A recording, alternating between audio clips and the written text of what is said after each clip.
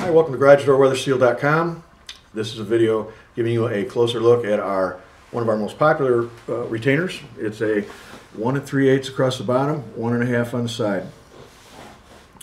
It's designed to accept quarter inch T weather seal, quarter inch crossed, T style, forms a T, slides into the bottom of the retainer, and the retainer's on the bottom of the door.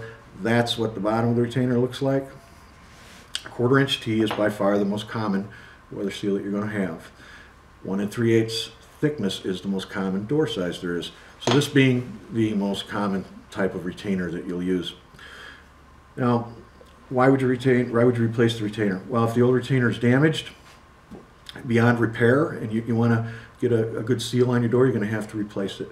Let's say your, your door has an odd style of weather seal that's not available and you can't find it to just replace the weather seal, you remove the old retainer, you put a new retainer on, you go with the common quarter inch T style, which this type of weather seal, quarter inch T, is available in a, in a lot of different widths. This is three inch, three inches wide.